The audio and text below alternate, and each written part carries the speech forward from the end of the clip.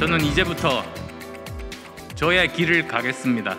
저의 단일화 제안으로 혼란을 느끼셨던 국민들께 진심으로 사과드리고 양해의 말씀 드립니다.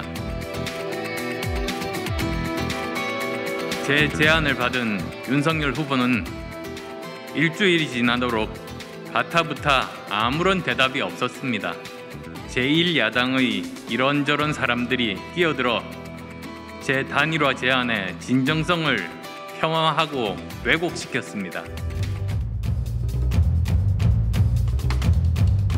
국민의당 측에서는 고인의 유지를 받들어가지고 선거운동을 하겠다 그러거든요. 이게 좀 제가 듣기에 말이 안 되는 게 고인의 유지가 고인이 갑자기 불시에 돌아가셨는데 고인의 유지를 어디서 확인합니까? 아니 그러면 국민의당에 유세차 운전하시는 분들은 아니면 버스 운전하시는 분들은 그 들어가기 전에 유세, 유서 써놓고 하십니까?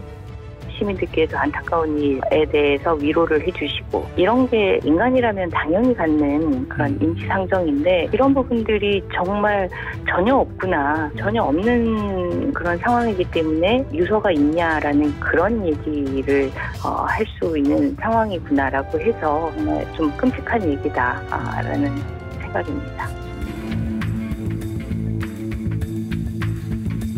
정권 교체라는 게 우리가 다른 어떤 것에 우선하는 가장 큰 배의 중의 하나라고 저희는 생각하기 때문에 정권 교체를 위한 노력이라면 우리가 다 하겠다.